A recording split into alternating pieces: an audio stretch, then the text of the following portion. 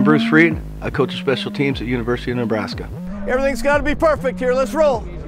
The special teams is very diverse. Uh, we use offensive players, defensive players, primarily younger players. You know, we have younger guys that are good athletes that are very capable of playing on special teams, and, and it's also really good for them to, to learn the speed of the game and, and the angles. Close that window, sink those hips. We need a strike, Josh. You need a strike, right? We can't be high. We can't be. We got to be 160 coming out.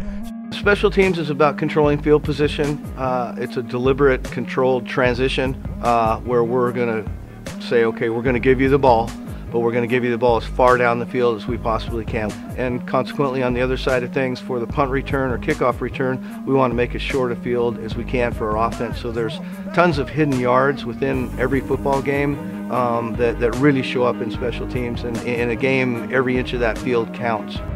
Let's go one verse there. We ready back here? Hey, 25, 25. All right, kick only. Everybody ready? Hands up and whistle. So we have a lot of our staff involved. We all have a part in it. I coordinate the whole thing, but they, when we break down individual teaching, uh, these coaches have, they're watching specific areas. And so we're able to kind of really break it down. And what does it mean to be the R2 on the kickoff team and be the field force player and how do I play that? So it's not we teach it kind of part part whole uh, so a player really understands what his role is. Go verse air kick only hands up and whistle. Ready Reg ready call him off.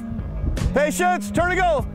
Check the return route. Look at him key him key him key him. Where's the ball? And we'd like our return teams to be explosive and a threat to people that we play to create momentum excitement and energy for our football team uh, we'd like our cover teams to be extremely sound, solid, play close to the vest, don't give up any big plays. You know, we'd like our field goal unit to be 100% all the time. Make every field goal, perfect protection, perfect snap, perfect hold. It's about putting points on the board. There you go, go, go, go, covered up, find the returner, we're rolling. We try to keep things as simple as we possibly can. I think that's a big, big challenge for all our, all our coaches at this level is to make the game simple so the players can react and just play fast. If you're thinking a lot, then you're, you're not reacting, your feet are slow. So we want our guys to just, just see it and, and go. That's it, good, nice job left side, go get it, find it. Nice hit, Sam, there you go.